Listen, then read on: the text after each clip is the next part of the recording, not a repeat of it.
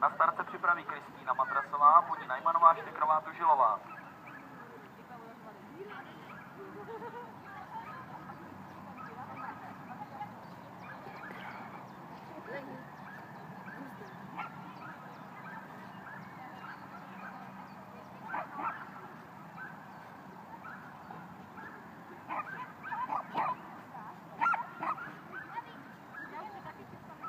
Ty nemusíš.